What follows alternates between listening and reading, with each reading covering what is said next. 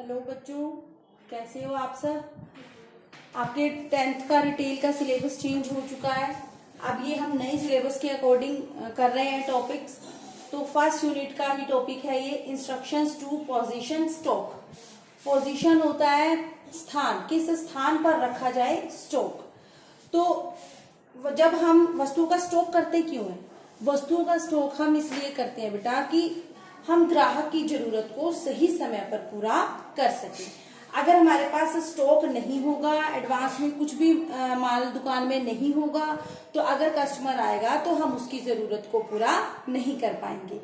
तो इसलिए हमें कुछ ना कुछ मात्रा में स्टॉक अपने पास रखना पड़ता है। और क्या रीजन है स्टॉक रखने का? कि बहुत सी वस्तुएँ ऐसी हैं जो किसी एक निश्चित मौसम में ही बनाई जा सकती हैं।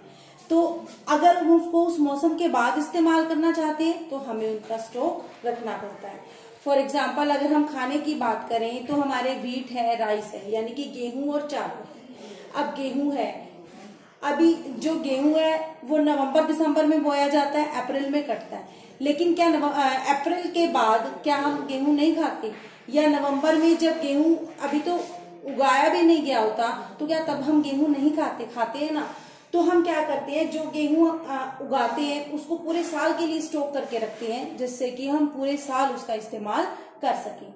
तो जब भी हम ये स्टॉक करते हैं तो स्टॉक करते समय किन बातों का ध्यान रखना चाहिए क्या क्या निर्देश होते हैं वस्तुओं को स्टॉक करने करने के लिए? तो इसमें पहला है प्रॉपर केयर सही देखभाल।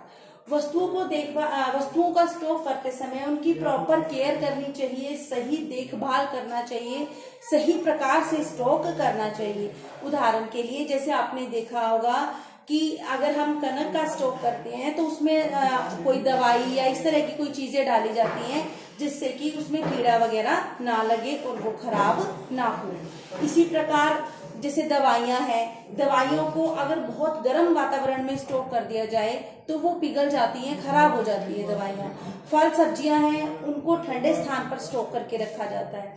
तो जब भी हम स्टॉक करते हैं तो प्रॉपर केयर, सही देखभाल करनी चाहिए। अगर उसमें कीड़ा लगने के चांस हैं तो उसमें दवाई लगाना या इस प्रकार की जो भी सावधानियाँ हैं, वो हमें रखनी चाहिए। राइट प्लेस सही स्थान। जैसे कि जब भी हम वस्तुओं का स्टॉक करते हैं, स्थान का चुनाव सही होना चाहिए। जैसे कि जब हम वस्तु का स्टॉक करते हैं तो वहाँ मॉइस्चर यानी कि नमी नहीं होनी चाहिए। नमी से क्या होता है? नमी से वस्तुएँ खराब हो जाती हैं। तो सही स्थान पर स्टॉक करना, फल सब्जियों के लिए कोल्ड स्टोर बनाए जाते हैं, ठंडे स्थान बनाए जाते हैं, जहाँ पर उन्हें सुरक्षित करके रखा जाता है। तो वस्तु का स्टॉक सही स्थान पर करना चाहिए। नेक्स्ट है कंट्रोल कॉस्ट यानी कि लागत नियंत्रण। स्टॉक करते समय लागतों को भी ध्यान में रखना चाहिए कि लागतें नियंत्रण में रहें, हमारे खर्चे नियंत्रण में रहें। अगर लागत बहुत अधिक हो जाएगी तो हमें नुकसान उठाना पड़ेगा। इसलिए हमें स्टॉक करते समय ये ध्यान रखना चाहिए कि हमारी जो कॉस्ट है या हमारी लागत है, वो नियंत्रित रहे। आगे है अकॉर्डिंग टू डिमांड मांग के अनुसार स्टॉक केवल उन्हीं वस्तुओं का स्टॉक करना चाहिए जिन वस्तुओं की ग्राहक मांग करता है डिमांड करता है। जिस वस्तु की ग्राहक को डिमांड नहीं है, उसका या मांग नहीं है तो उसको हम स्टॉक नहीं करेंगे। केवल उसी वस्तु को स्टॉक करना चाहिए और उतनी ही मात्रा में करना चाहिए जितने ग्राहक के लिए मांग होती है। उम्मीद है आपको ये समझ में आया होगा कि क्या क्या निर्देश दिए जाते हैं। Thank you